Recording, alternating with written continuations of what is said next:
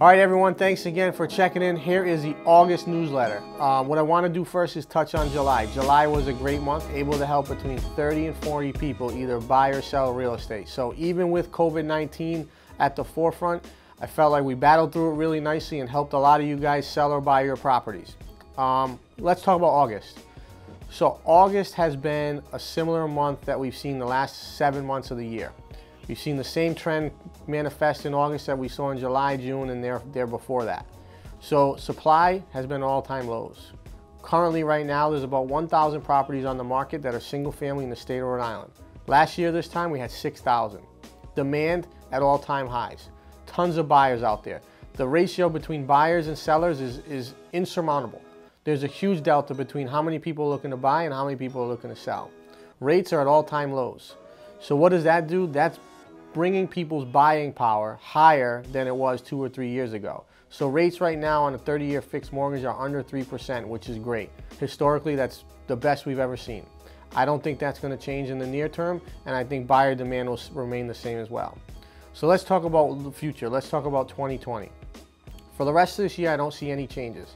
I think supply remains low, I think demand remains high, and I think buyers continue to be frustrated that they're not able to get the properties that they once were.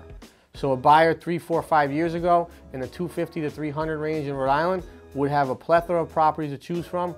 Right now, they're going to properties, they're looking at them, 40, 50 showings, and there's about 20 or 30 offers over asking price. This market is not normal, and it will continue for the rest of the year. 2021 is going to really manifest itself depending upon the election and also what happens with the second round of COVID-19. If we see favorable results in both of those items, I think you're going to see the best year in real estate we've ever had. If those items become non-favorable or unfavorable, I think we're in for a world of hurt. I think 2021 will start status quo as we end 2020, but I think it will then result in the fourth quarter in somewhat of an economic recession, which will trickle down to the real estate market. Overall, I'm excited on the market and I'm really pumped. If you're a seller and you have any sort of property, multifamily, single family, anything you've been holding and you're looking to cash out, there's no better time than now.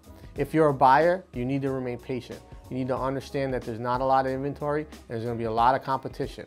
Try to look for that property that's listed a little bit over your price that's been on the market three, four, five weeks. Now you have the opportunity to get a seller that's somewhat disgruntled, that wants to sell, that can't wait to get out of the property and may take a lower price. If you're a seller, there's no better time than now or in the late summer. I think the fall will remain favorable. And before you hit the winter where the weather is the one uncertainty, it's a great time to put your property on the market. In conclusion, I recently made the move from Keller Williams to Century 21 and I'm super excited. I'm now the broker owner of my own branch and I'll have four offices open within the next six months. Cumberland, Pascoag, Warwick, and Seekonk. We look to serve southeastern Massachusetts and all of the state of Rhode Island. Guys, hopefully you have a great month, and I'll look forward to catching up with you in September.